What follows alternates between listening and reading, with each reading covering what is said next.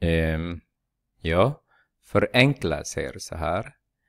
Om vi har x upphöjt till 5 multiplicerar med x upphöjt till 2 och det är exakt lika som jag skriver de jag använder här i eran um, formelblad så ni har potenslagen som säger så här upphöjt till x, a upphöjt till x multiplicerar med a upphöjt till y och man har samma bas så man kan addera exponenterna.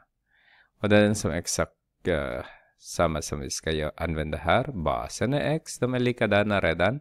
Så har vi 5 plus 2 är lika med x upphöjt till 7. Så en annan penna för b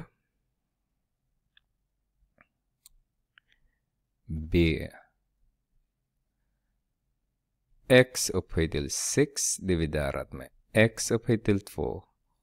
Och eran uh, farvelblad säger så här, om jag har samma bas upphöjt till x och a upphöjt till y och dividerar man dem så det är lika bra att ta differensen av exponenten. Det är den som vi ska använda här också. Så har vi x upphöjt till 6 minus 2. Så har vi x upphöjt till 4. Ta en annan penna till. Eh, tar orange. C. Och den här är det exakt samma som vi ska använda. Den här är det exakt samma eh, lag som vi kommer att använda. Så har vi x upphöjt till 5 multiplicerat med x upphöjt till negativ 2 är lika med x upphöjt till 5 plus negativ 2. Så har vi positiv och negativ blir det negativ så har vi x upphöjt till 5 minus 2 är lika med x upphöjt till 3. En annan penna för d. Eh, ja, där. D. Så. Eh, D är lika som B, men eh, lite twist bara. Så har vi x upphöjt till 4 dividerat med x upphöjt till negativ 2 är lika med den här, den här som vi ska använda nu. Så. Så vi har lika med x upphöjt till 4 subtraherade med negativ 2. Negativt och negativ blir det positiv. Oj, förlåt nu. En till. Så. Negativ och negativ blir det positiv. Så vi har 4. adderade med 2. Så har vi x upphöjt till 6 blir det. ju. 6 blir det. Okej, okay, och sen ska vi titta på E. E.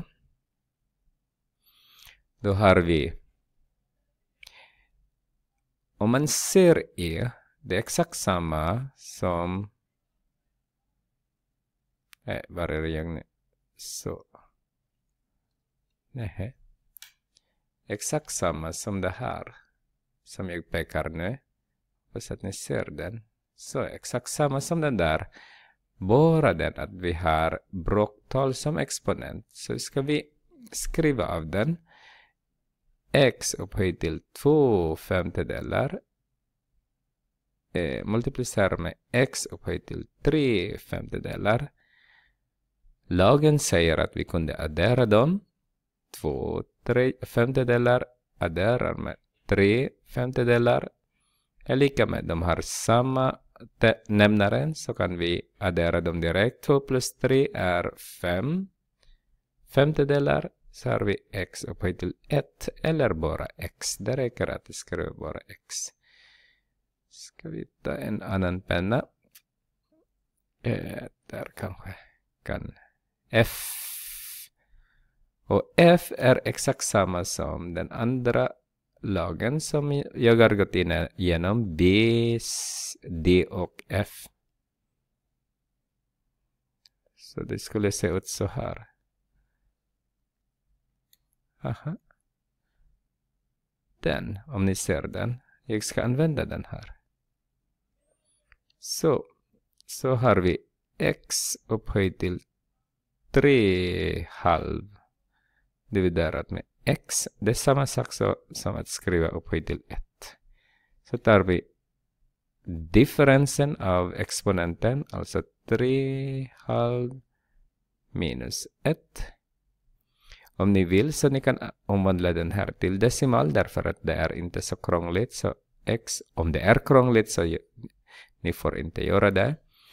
Men om ni vill så det går bra också att göra 1,5. Men om jag förlänger den här ettan med 2 och 2 så har jag 3 halv minus 2 och 2. Så ser ni att det här blir x upphöjt till en halv. 3 minus 2 är 1. Så